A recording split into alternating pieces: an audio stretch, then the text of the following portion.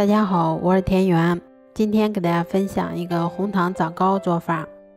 首先，我们在大碗中先准备八十克的红糖，然后再加入两百克的温水。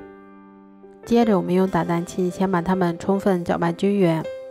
稍微晾凉后，先加入三克酵母粉，然后再加入二百四十克的普通面粉。接着，我们用筷子把它们一直搅拌成像这种细腻粘稠的糊状就可以啦。面糊调好后，再给它盖上保鲜膜，让它先醒发至原来的两倍大。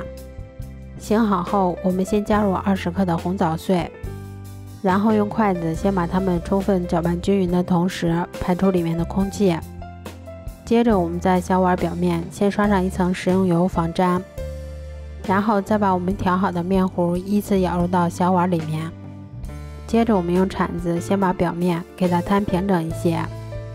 最后，我们在表面再摆放一些红枣片儿或者自己喜欢吃的其他果干儿。二十分钟后，我们再把它开水上锅，全程用大火蒸二十五分钟左右就可以出锅啦。